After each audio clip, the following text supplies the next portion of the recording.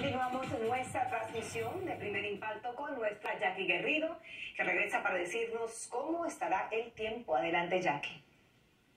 Gracias, Pamela y familia. Nuevamente, muy buenas tardes.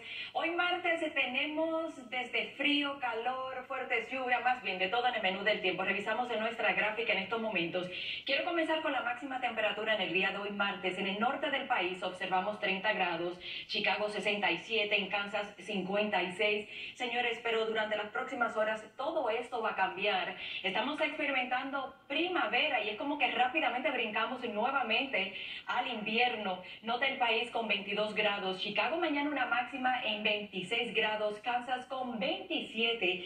Estos solamente son máximas temperaturas, así que el frío se queda en el norte y centro del país y 30 grados, casi por debajo de lo normal. Actividad de fuertes lluvias nuevamente, como podemos observar desde San Luis, Nashville, Tennessee, hasta todo el sureste, Atlanta, una que otra actividad de, de lluvia, obviamente, hacia Chicago. Tenemos nieve sobre Denver, Colorado. Este patrón de lluvia para mañana miércoles se concentra desde el noreste del país y notamos este sistema frontal todo el sureste.